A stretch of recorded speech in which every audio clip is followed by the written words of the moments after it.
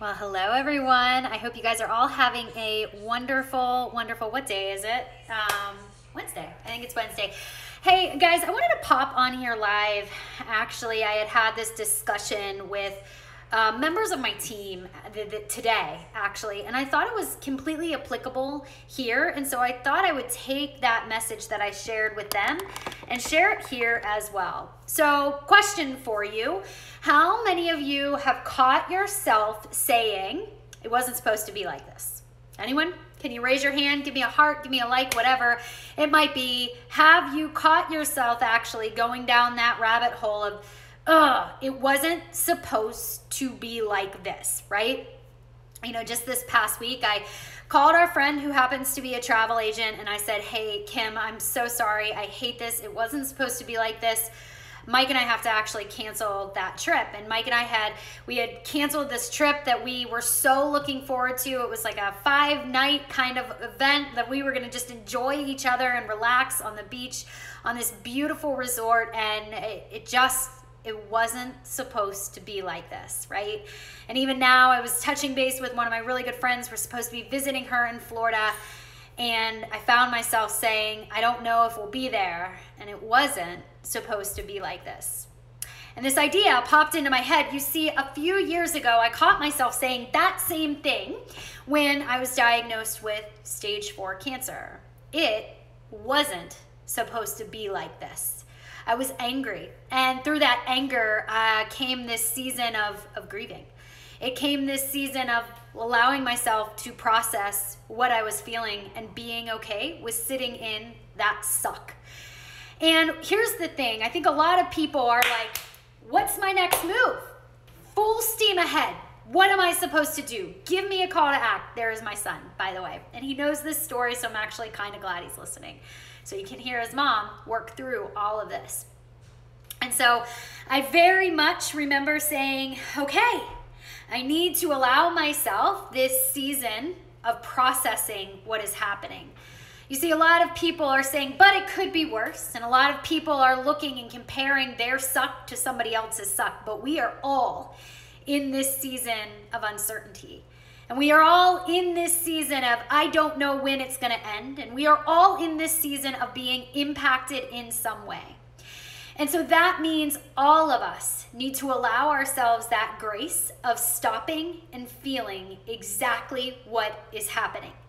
And even when I was going through my treatment, I allowed myself to sit with it. I allowed myself to say, This sucks. I allowed myself to say, This isn't how it was supposed to be. And once I was able to feel that and process it and grieve what was once my normal, so that I could go on to accept what my current situation was, I actually felt physically like this this giant weight had been lifted off my shoulders and it was only because I allowed myself to feel it. I allowed myself to process it. I allowed myself to grieve what I once knew so that I could start walking through the doors of what is. And so today, I just want to give you a couple of tips of what I did then when I was going through that season and what I still find myself doing now. And there are five things that I'm finding to be incredibly important right now. And I don't care if you're a business owner, I don't care if you're a stay at home mom, I don't care if you are somebody who is just processing that you don't know if you have a job or you don't have a job. All of us can benefit from these five things. So, number one, I want you to move. I want you to start every day with a workout. And maybe it isn't first thing in the morning. Maybe for you, a workout is going to come later in the evening, but every day, challenge yourself to get up and move because here's the thing about movement when you move you release endorphins and when you release endorphins you're relieving more of that stress that you might actually be carrying unknowingly. So, all of those thoughts that go on through your mind on a regular basis, you can start to take them and tangibly move. What's up, Dee? He didn't watch any of it, baby. It's been paused because I have the Roku. He hasn't touched it. It's right here. Number two. Oh gosh, I know you guys are all in this too. Prep yourself for the day. As hard as it might be to adjust to this new normal, That's not how we act. Would you like to come here with me? As hard as it might be to adjust to this new normal, to your kids being home, to the craziness of your schedules, to anger, to frustration, to all of it, to what you are witnessing right now. Hey, Dominic, I'm not telling you again. Come here. Come here. I know. Come here. Are you done? Can I finish, please?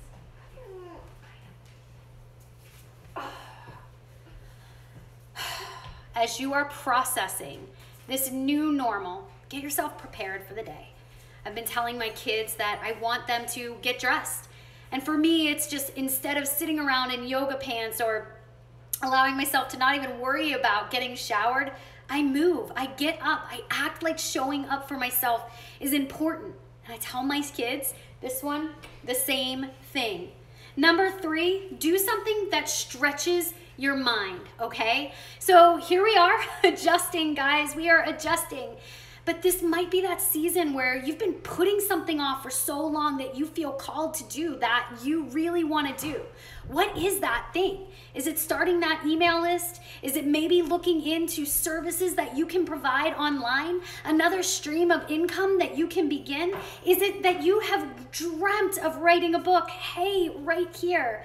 Now is the time that you can start taking action on those things. Number four, you're gonna do three things a day.